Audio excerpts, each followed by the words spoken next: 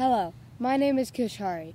I go to Hastings Middle School in Upper Arlington, Ohio, and this is my Google Science Fair project. I chose to investigate food science and environmental studies because from a young age I was taught about how lucky I was to have food on a daily basis and that not every kid had those luxuries.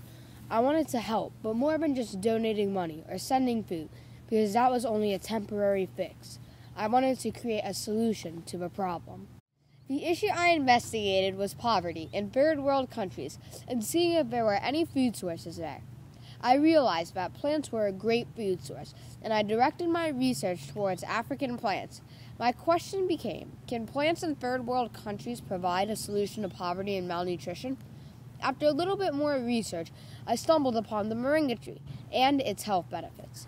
Based on this plan, I created my hypothesis, which was if I grow a moringa tree and use its leaves and other easily accessible ingredients to make a food dish, then the new food dish will be able to provide all necessary nutrients needed for human survival, which can limit poverty and malnutrition in third world countries.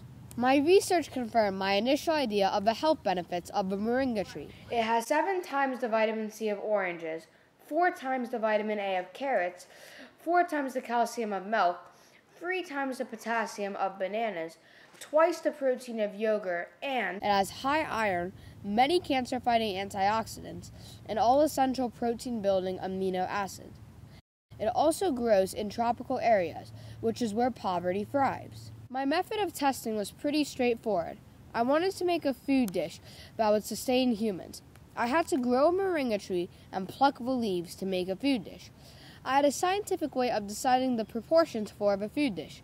I would put in a half cup of rice and a quarter cup of beans, and put in some moringa leaves, and see which amount would be the ideal amount for eating. These findings will be very helpful because if I can prove my hypothesis, the people that live in third world countries will have food they need to survive. This would greatly lower poverty rates in third world countries. Unfortunately, the results are not in yet because the moringa tree is still in the process of growing its leaves.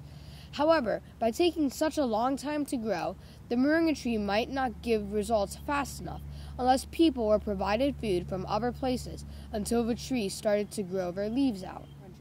After I finish my project, I will see if I can spread the word out about these miracle trees.